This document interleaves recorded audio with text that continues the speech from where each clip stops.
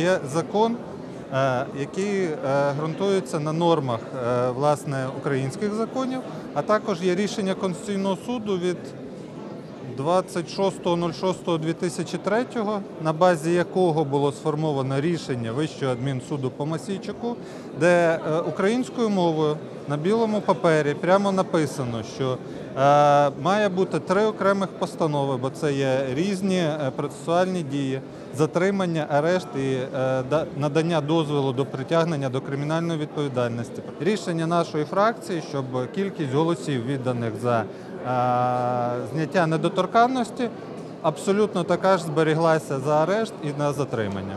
Щоб не було такого, що за зняття недоторканності проголосувало більше, ніж за е, надання дозволу на арешт.